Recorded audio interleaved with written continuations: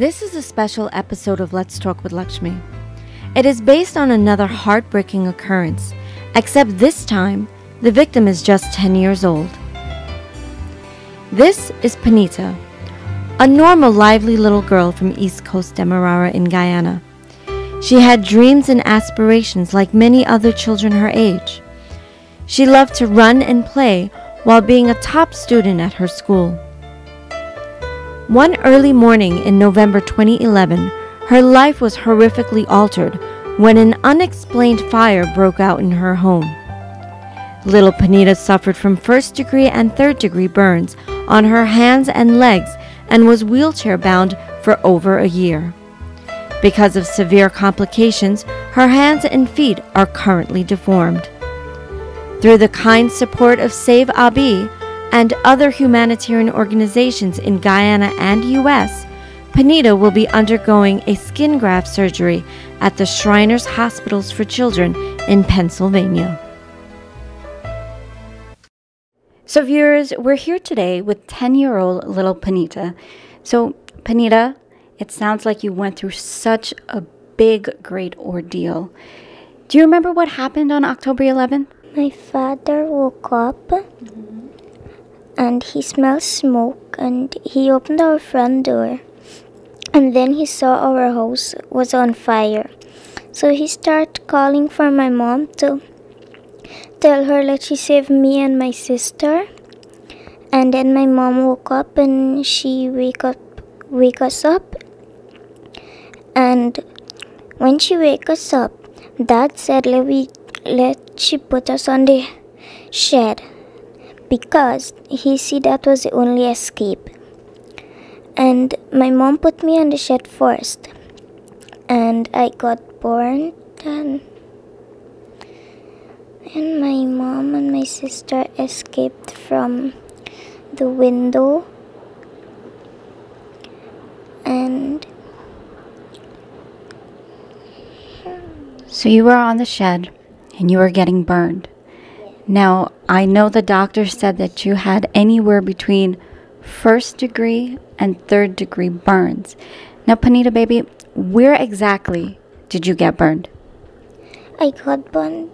I got burned on my hands and my feet. And uh, now you got burned on your hands and your feet. When you were getting burned, do you remember? Do you remember what it felt like? Do you remember thinking anything?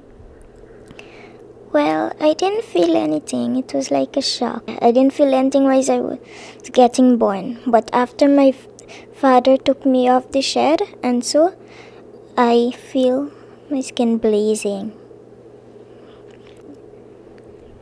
Now, when you were getting burned, Punita, did you think that you were going to get saved? Were you worried? Did you wonder what was going to happen to you? Yeah, I was worried about my family and so I was worried and I was yelling for help. Now it was four o'clock in the morning. Did anybody hear you? Mm. No. No. So, Punita, I know that you were burned especially on your hands and on your feet. Now I heard that you couldn't walk. How long could you not walk for? Over a year. Over a year. So I know this happened October 30th, 2011. We are already in February of 2013. So I heard your bandages came off in January of 2013. Is that right? Yeah. So from October 30th, 2011 to October 30th, 2012 is one year. Right? So October, November, December, January. So that's 15 months. 15 months that you were not walking? Before the bandage came off, I a little before the bandage came off, I started to walk and so. So now this happened in Guyana, and I know you did go to Georgetown Hospital. You did go to Dr. Balwant's hospital. Do you remember anything that happened in the hospital? What the doctors did? What they said? What the nurses are saying to you? The doctor did a skin graft. Well, when I first got born, I I could walk a little bit. But after that, and when we go to the hospital and so, and when we tried to walk, me at Georgetown Hospital couldn't walk. And then when I go Balwant Singh Hospital, they put splint on my foot because it was like bent and they couldn't straighten it so they put a splint and I was practicing to walk and sometimes it is hurt a lot when I just practice to walk to walk. Were you ever worried at any time that you're not going to be able to walk again? Or do you like dancing? Hmm? You like dancing? Not much. Not much, okay. Well, were you ever worried that you wouldn't be able to walk or run? I mean, you're a little girl, you like to run, right? Yeah.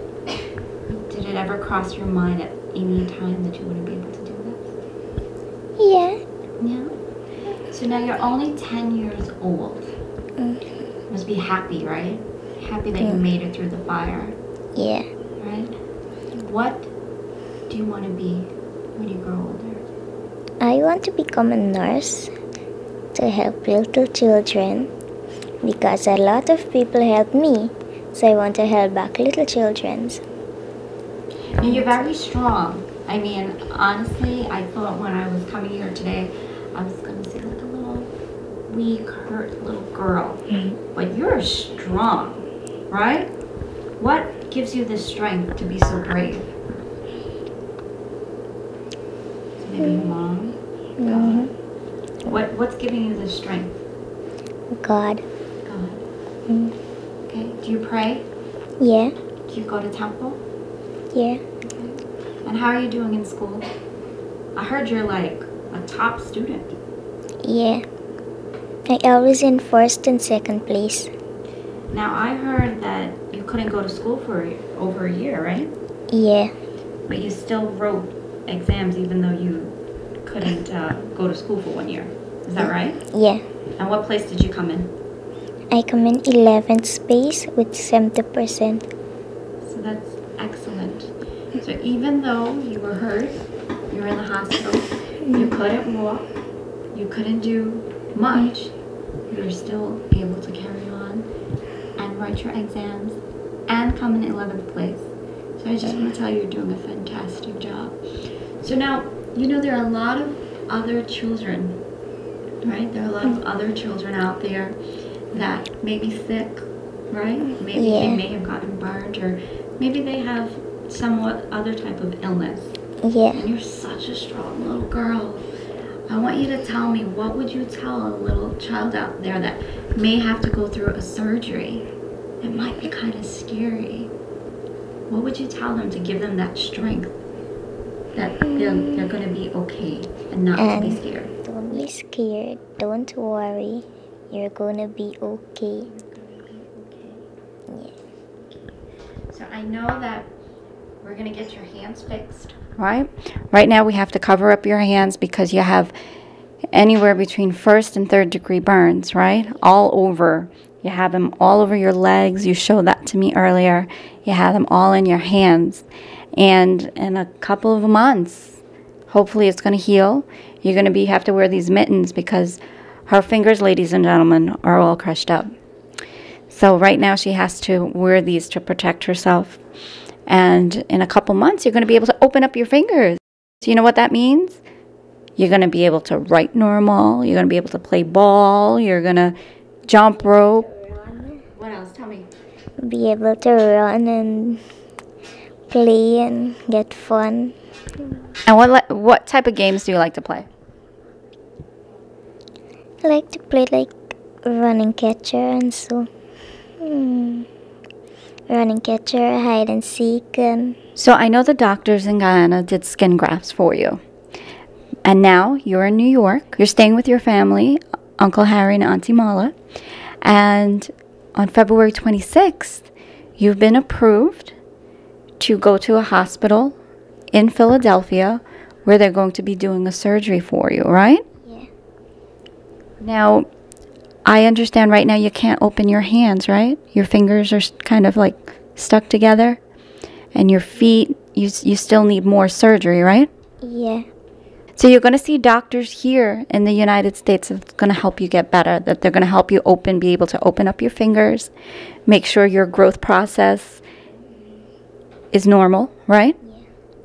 Yeah. So I know there are a lot of people that, you know, stepped in and said, you know, we want to help you, right?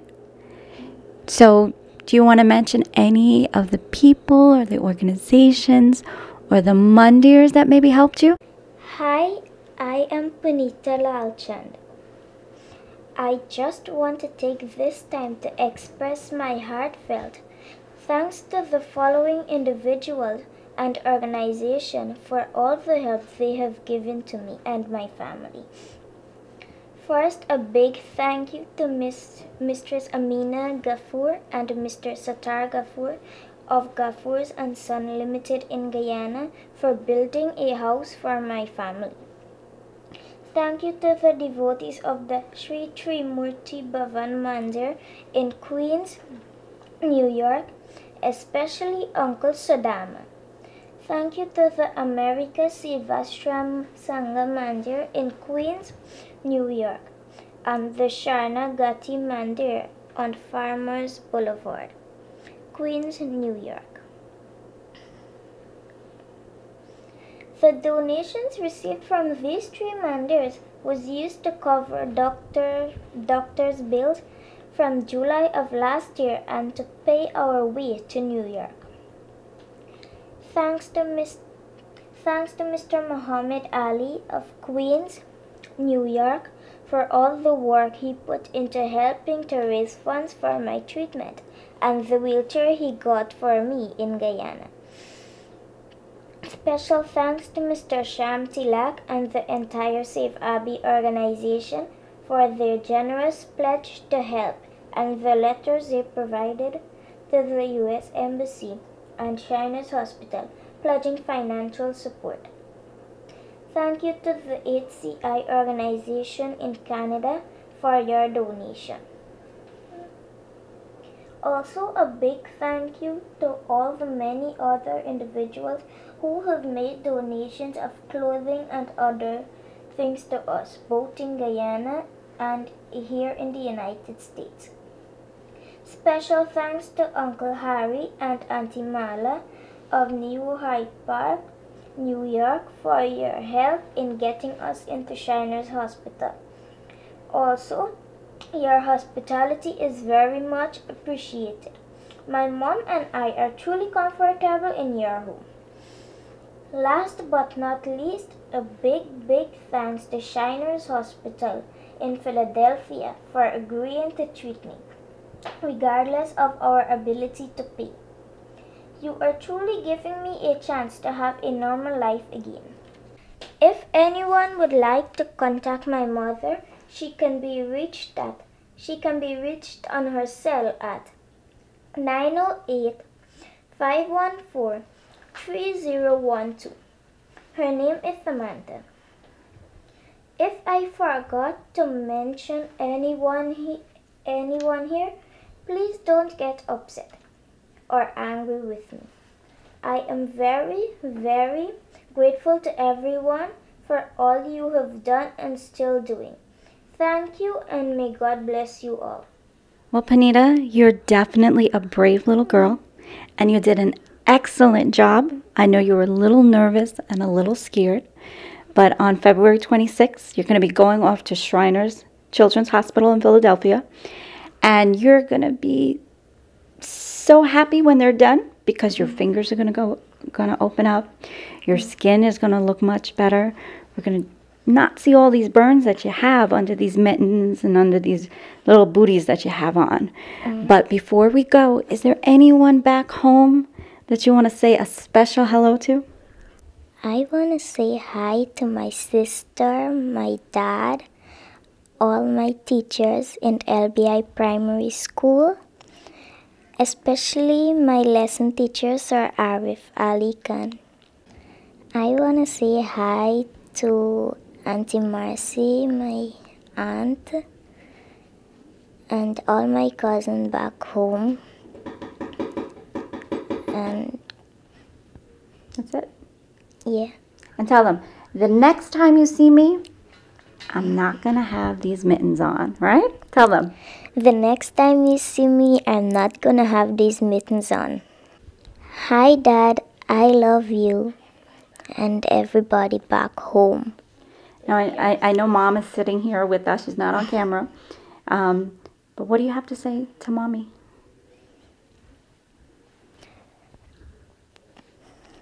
I want to thank her for all the support, my parents, for all the support and strength and everything they've done for me. Awesome. Well, viewers, thank you for tuning into this week's episode of Let's Talk with Lakshmee. We were privileged to have a little chat with Punita. She was a burn victim, and in a couple months, we're going to see a big improvement from Punita, right? Yeah. And maybe you'll send me a picture, and we'll we'll be able to show everybody that you're all back to normal. No more mittens, no more booties, right? Sure. Okay. Well, guys, I want to thank everyone who's been out there and who has been helping Punita and helping in any way that you can, not only in Punita's case, but any case. There are a lot of children, a lot of people that do need help. Well, guys, I'll see you all next week, same time, same place. It's a date. Let's, talk. talk. Schenectady! Here they come! It's the Schenectady Chutney Jam, a super blast family event featuring Terry Gajraj, Anand Hansraj A9, Princess Anissa, West Indian Melody Band, and the Supertones Band. It will be craziness at the Harmony Hall. Doors open at 6 p.m. For more information, call 518-952-0046. DJ Third Degree and the Radio Guyana team New York will be broadcasting live on RadioGuyana.fm. All proceeds go to the Save Abee Foundation. Check them out at S-A-V-E-A-B-E-E dot O-R-G. See you there. Dr. Mukund Thakur cared for the elderly in rural villages of India. His lifelong work caring for the elderly continues. The doctor realized that our Indian elders needed a place they can call home. A nursing home for our elders. Born out of this vision is an Indian nursing home in New York. In an Indian surrounding, our Indian elderly is among their own. They wake up to prayers in the temple. Indian food is served. Festivals are celebrated. Our elders are cared for by Indian nurses, serving our Indian community from Guyana, Trinidad, India, and more. I'm not inviting you as a you can you can admit your your your loved one in uh, my nursing home, but whenever really you need me, please call me, and I definitely I promise you I take care of like my own parents.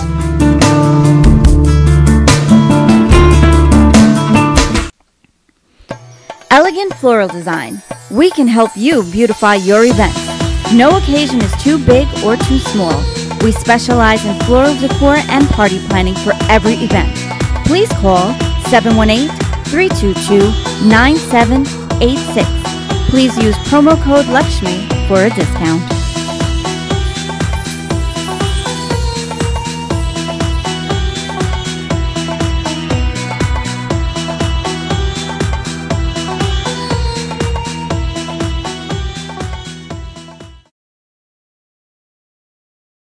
Listen to Chillin' with Rose, weekdays 7 a.m. to 9.30 a.m. on the world's number one chutney soca station, Bacchanal Radio.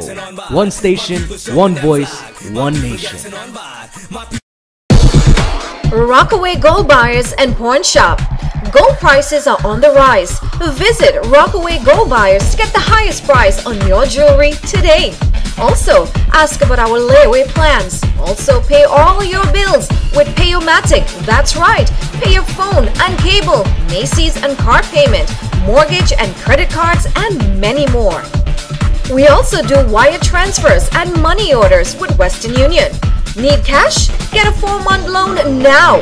Mention code word Lakshmee to receive no interest for the first month on any loan up to $500. Located conveniently on 10705 Rockaway Boulevard.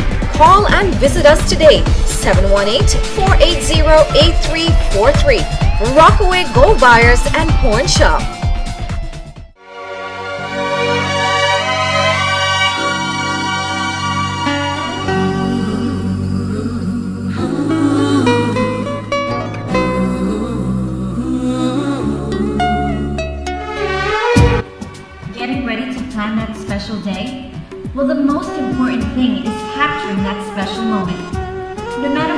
Or small, Digital Photo by Buddy can capture it all.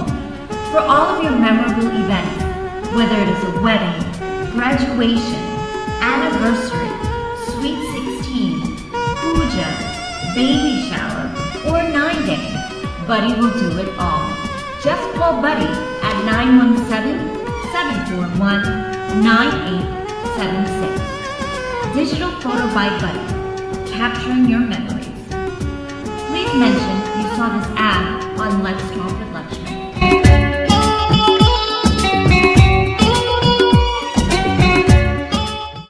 Anybody know what they call a sweet man? Anybody know what they call a sweet man? I's a sweet man. Uh-huh. You know, well here, Trinidad to say horn, right? Trinidad say horn, we're gonna say. You know is horn, right? Guyana they say blow, you getting blow. Yeah. So what do I?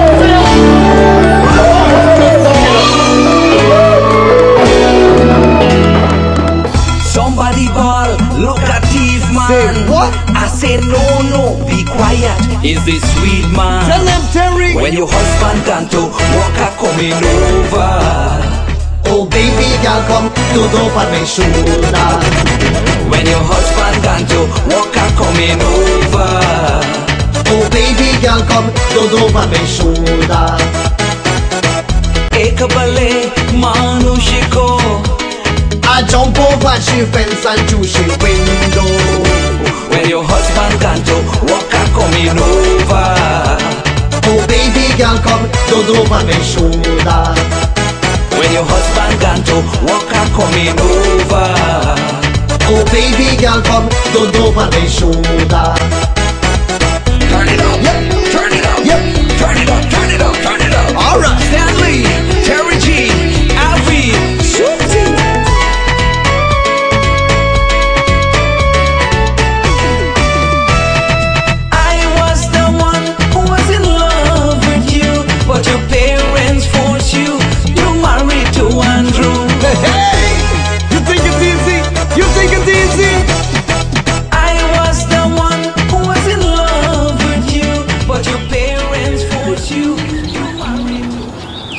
to Somebody